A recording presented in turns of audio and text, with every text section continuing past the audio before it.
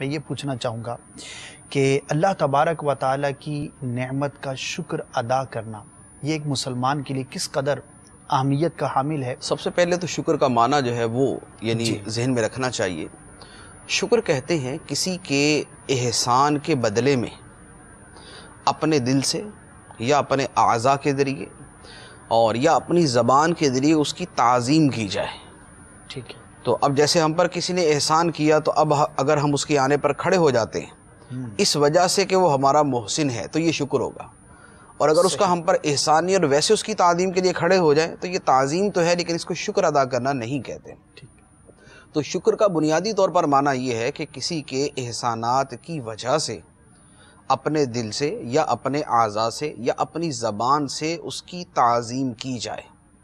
تو اب اس اعتبار سے اللہ تعالیٰ کے شکر کا معنی یہ ہوا کہ اللہ تعالیٰ کے احسانات کی وجہ سے اللہ تعالیٰ کی تعظیم کی جائے جو دل سے ہو یا اعضاء سے ہو یا وہ اپنے ہاتھوں سے ہو صحیح۔ یا اپنی زبان سے ہو۔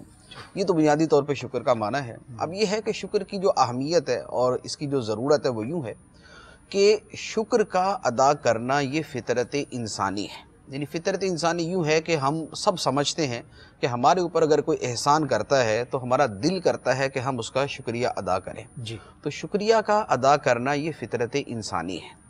اب یہ کہ اللہ تعالیٰ کا جو شکر ادا کرنا ہے اس کے پیچھے جو ہے وہ کیا سبب ہے؟ تو اس کے پیچھے سب سے بڑا سبب تو یہی ہے کہ ہم پر حقیقتاً جو احسانات ہیں وہ اللہ تعالیٰ ہی کے ہیں۔ یعنی دنیا کی جو بھی نعمت ہے وہ اللہ تعالیٰ کی طرف سے ہی ہے۔ وہ رحمان ہے رحیم ہے اور اس کی نعمتیں اس قدر ہیں کہ ہم شمار نہیں کر سکتے اور اس کی نعمتیں سر کے بالوں سے لے کر پاؤں کے تلووں تک جو ہے وہ ہمارے ساتھ ہے۔ اور اس کے علاوہ بقیہ جتنی کائنات ہے وہ بھی سب ہمارے حق کے اندر اللہ تعالیٰ کا احسان ہی ہے۔ اسی لیے اللہ تبارک و تعالیٰ نے قرآن پاک کے اندر ارشاد فرمایا و اسبغا علیکم نعمہ ظاہرتم و باطنہ فرمایا کہ اللہ نے تم پر اپنی ظاہری باطنی نعمتوں کو بہا دیا ہے۔ یعنی الفاظ مبارکہ جو ہیں وہ ہیں کہ نعمتیں اللہ تعالیٰ نے بہا دی ہے ظاہری بھی اور باطنی بھی۔ ظاہری وہ جو ہمیں نظر آتی ہے باطنی وہ جو ہمیں نظر نہیں آتی۔